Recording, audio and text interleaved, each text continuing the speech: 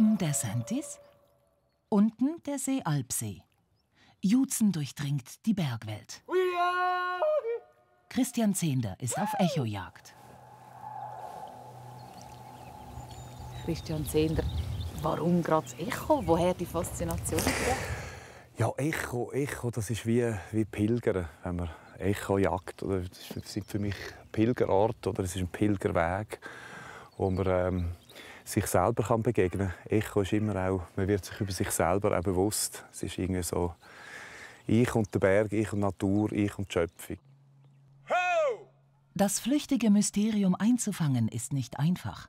Um die Antworten der Felsen zu bannen, braucht Zehnder Verstärkung. Vom Tonmeister und von Johnny, einem ausgeklügelten Mikrofonkopf, der so aufnimmt, wie der Mensch hört.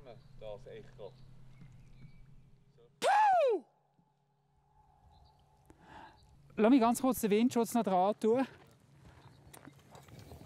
Der Johnny hier oben. So. Das Echo musikalisch zu erforschen ist schon lange ein Herzensprojekt des passionierten Bergsteigers. Keines klingt wie das andere.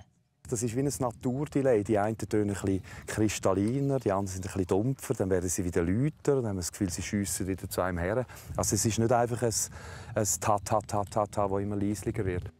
Unberührte Klangwelten erforschen, das macht Zehnder auch im Tal. Hier bereitet er sich in einer Kirche in Zürich auf ein Konzert vor.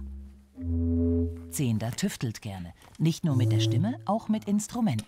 Die meisten hat er selbst gebastelt, etwa aus alten Orgelpfeifen. Ich glaube, die habe ich irgendwo in einem, in einem Brockenhaus gefunden. Und das hat dann so angefangen. Oder? Und dann machst du kannst ja nur einen Ton machen. Oder? Und, dann musst es und das hat mich immer interessiert, also die Reduktion eigentlich aufs Wesentliche wieder.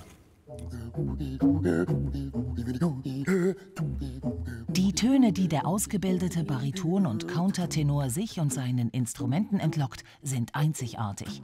Er beherrscht den Obertongesang, singt zweistimmig, jodelt. Angefangen hatte Christian Zehnder einst mit Gitarre, doch die stellte er schnell in die Ecke.